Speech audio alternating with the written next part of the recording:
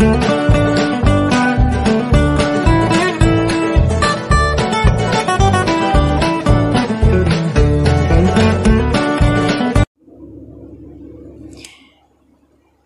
सो है फ्रेंड्स आज मैं आपके लिए लेके आई हूँ एक ऐसी रेमेडी जो होने वाली है मानसून सीज़न के लिए बहुत ही हेल्पफुल आपके लिए।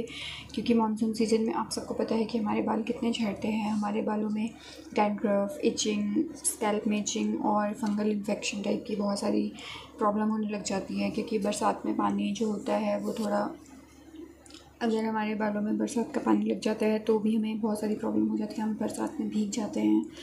तो आपने देखा ही होगा कि बहुत सारी प्रॉब्लम हमारे स्कैल्प में होने लगती है और अगर ना भी भीगे हों तो भी हमारे जो हेयर फॉल की प्रॉब्लम है, ये तो होती ही होती है। बरसात में आपने गौर किया होगा कि हमारे बालों की जो हेयर फॉल की प्रॉब्लम है, ये बहुत ही ज़्यादा बढ़ जाती है।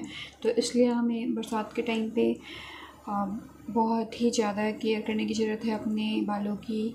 तो इसीलिए मैं आज आपके लिए लेके आई हूँ एक ऐसी हेयर फॉल रोकने वाली रेमेडी। बेसिकली ये हेयर फॉल को रोकने वाली रेमेडी है, जो मेन हमारी प्रॉब्लम है। और भी इस रेमेडी के बहुत सारे गुण हैं, जैसे कि आपके अगर बाल बहुत थिन हो रहे हैं तो उसको ये थिकनेस प्रोवाइड करेगा। और अगर आपके बालों में शाइन नहीं है तो भी आपके बालों को शाइन प्रोवाइड करेगा, आपके बालों में स्ट्रेंथ प्रोवाइड करेगा और जो स्कैल्प की प्रॉब्लम है, वो तो ये दूर करेगा ही। तो चलिए जो इंग्रेडिएंट हमें इस रेमेडी को बनाने के लिए चाहिए, वो क्या क्या होने वाले हैं तो देख सकते हैं। आप फ़र्स्ट इंग्रेडिएंट है शिकाकाई पाउडर तो ये आप देख सकते हैं, शिकाकाई पाउडर ये हमारे बालों को बहुत ही अच्छे से डैंड्रफ हमारे बालों से दूर करता है और हमारे बालों को मज़बूत बनाता है। एक शाइन हमारे बालों को प्रोवाइड करता है। शिकाकाई पहले ज़माने में जो होता है, वो एक, हमारे बालों के लिए शैम्पू टाइप का काम करता था शिकाकाई। तो शिकाकाई पाउडर हमारा फ़र्स्ट इंग्रेडिएंट है और सेकंड इंग्रेडिएंट है हिबिस्कस एंड मेथी पाउडर। ये आप घर पे भी बना सकते हैं। हिबिस्कस पाउडर क्योंकि मेरे पास गुड़हल के फूल अवेलेबल नहीं थे तो आप नेचुरल वे में अगर इससे बनाना चाहें तो वो भी बना सकते हैं। मेथी दाने को आप पाउडर फॉर्म में ले सकते हैं घर पे, उससे आप पी सकते हैं और जो हिबिस्कस के फूल होते हैं, आठ से दस फूल आप इसमें ले सकते हैं और इसके भी बहुत सारे फ़ायदे हमारे बालों के लिए हैं। तो ये सेकंड इंग्रेडिएंट और थर्ड थर्ड जो इंग्रेडिएंट है वो है आंवला पाउडर आंवला पाउडर विटामिन सी बहुत ही ज़्यादा इसमें होता है तो ये हमारे बालों को शाइन प्रोवाइड करता है, मजबूती देता है। तो जो आज के रेमेडी का मेन इंग्रेडिएंट है वो है ये आंवला पाउडर तो ये थर्ड हमारा इंग्रेडिएंट है। तो चलिए रेमेडी को बनाते हैं। इसके लिए आपको ये तीन पाउडर चाहिए और आपने लेना है इस तरीके का बड़ा कोई कंटेनर तो जिसमें आप ये अच्छी अमाउंट में बना सके। तो चलिए वीडियो को शुरू करते हैं रेमेडी बनाते हैं। तो फ्रेंड्स फ़र्स्ट हमने लिया है एक वन स्पून ये hibiscus powder shikakai powder sorry तो ये एक टेबल स्पून आपने लेना है। सेकंड आपने लेना है हिबिस्कस और मेथी पाउडर, ये आपने लेना है एक टेबल स्पून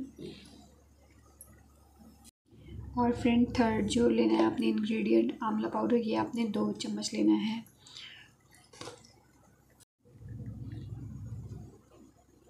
तो ये आ गया दो चम्मच आंवला पाउडर और अब आपने इसमें लेना है वन हंड्रेड एम वाटर तो वन हंड्रेड एम एल आप इसमें वाटर ऐड कर देंगे।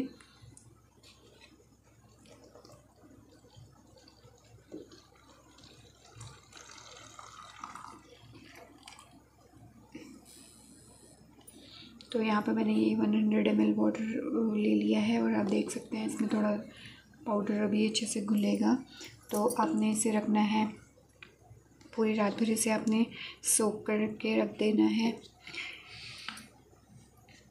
इसे आप अच्छे से मिक्स कर लीजिए, ताकि जो कोई लम्स हो, वो ना आए और ये अच्छे से मिक्स हो जाए।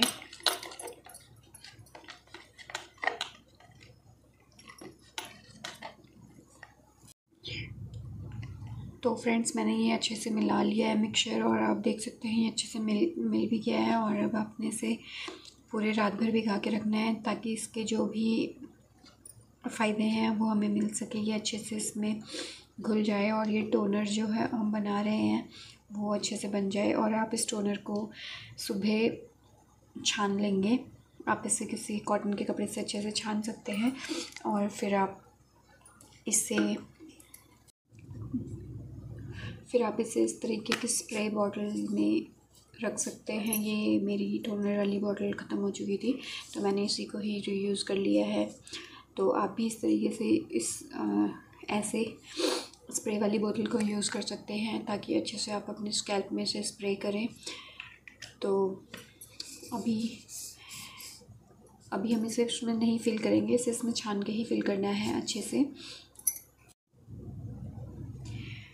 और फ्रेंड्स, आपने जब इसे छान लेंगे तो आपने, जब आपको अपने हेयर वॉश करने होंगे उससे हाफ़ एन आवर या फोर्टी फाइव मिनट्स पहले आपने इसे अच्छे से अपने स्कैल्प में स्प्रे करना है और उससे अच्छे से मसाज करनी है। उसे फोर्टी फाइव मिनट्स के लिए रहने देना है और फिर आपने अपना हेयर वॉश करना है किसी माइल्ड शैम्पू से। और, इसे आप स्टोर करके रख सकते हैं फिफ्टीन टू ट्वेंटी डेज़ के लिए अच्छे से फ्रिज में ही आपका स्टोर हो जाएगा। और जो आपका, इसके बाद जो बचेगा जो वो पेस्ट टाइप का बचेगा, आप उसे भी अप्लाई कर सकते हैं अपने बालों में। तो वो भी आपका रीयूज़ हो जाएगा वेस्ट होने से बच जाएगा प्रोडक्ट तो वो भी आपके स्कैल्प में बहुत ही अच्छा इफ़ेक्ट देगा, क्योंकि वो ओवरनाइट सोप्ड है अच्छे से। तो फ्रेंड्स ये रही आज की जो रेमेडी थी। कमेंट करके बताइएगा कि आपको कैसी लगी। तो अगर आपको मेरी वीडियो अच्छी लगी और आप चाहते हैं कि मैं ऐसी वीडियो और बनाऊँ तो प्लीज़ कमेंट करिए। मेरे चैनल को सब्सक्राइब कीजिए लाइक कीजिए और शेयर कीजिए। तो बाय बाय